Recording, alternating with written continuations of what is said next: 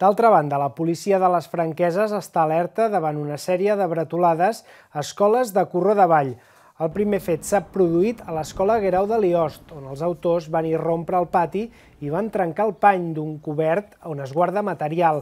El segon ha tingut lloc a l'escola Camins, on s'han fet pintades a l'exterior del centre i a les façanes que donen a la pista poliesportiva. A hores d'ara no s'ha identificat els autors de les bretolades, malgrat que es creu que seria una colla de joves.